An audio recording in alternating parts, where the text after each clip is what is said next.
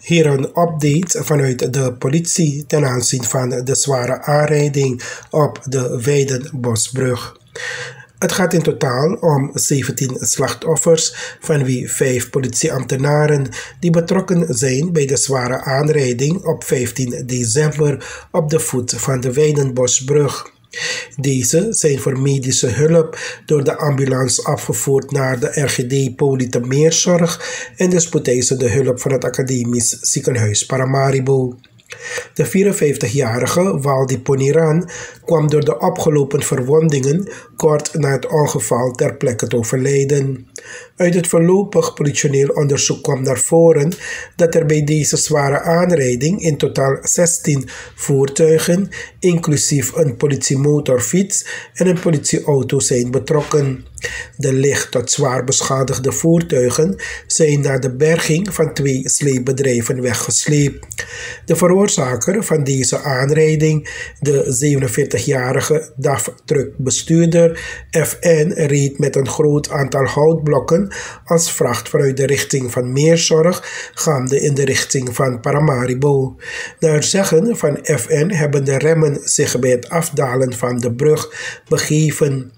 Hierdoor kwam hij eerst in botsing met een sleepvoertuig die doende was een defect voertuig van de brug te slepen. Vervolgens kwam hij in botsing met de overige voertuigen die zich nog op de brug bevonden.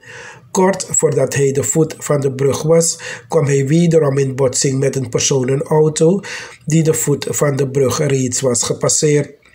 De overleden autobestuurder Poniran reed pal achter dat voertuig, gevolgd door het politiedienstvoertuig met de drie vrouwen vrouwelijke politieambtenaren.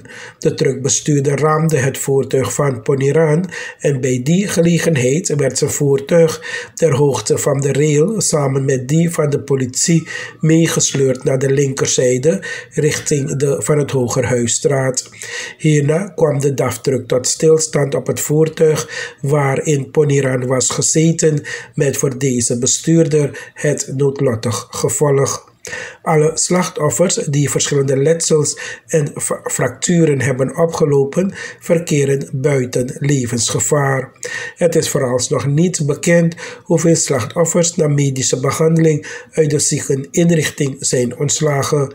Het is niet uitgesloten dat er operatief zal moeten worden ingegrepen bij de vrouwelijke politieagent die bekneld zat in het politievoertuig.